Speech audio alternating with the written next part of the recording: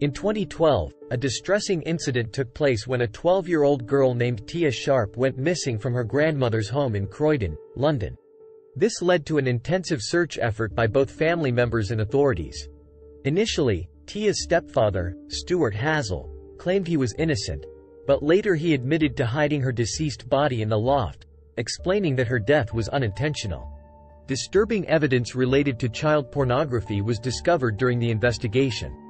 In May 2013, Hazell was found guilty of Tia's murder and received a life imprisonment sentence, with a minimum requirement to serve at least 38 years in custody.